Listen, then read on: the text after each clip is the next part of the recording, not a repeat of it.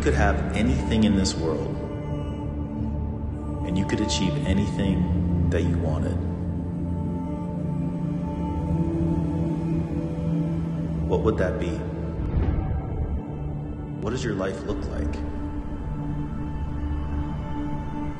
When's the last time that you asked yourself that?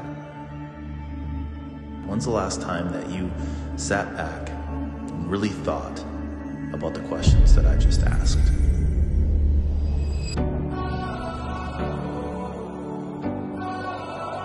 That's the first step to achieving exactly what you want out of this life.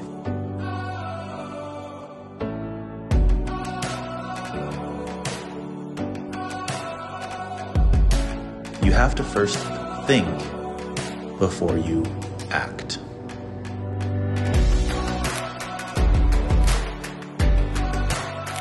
That's the power of the mind. And that's the power of attraction.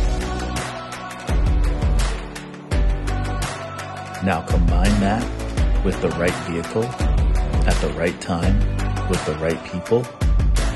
Anything is possible.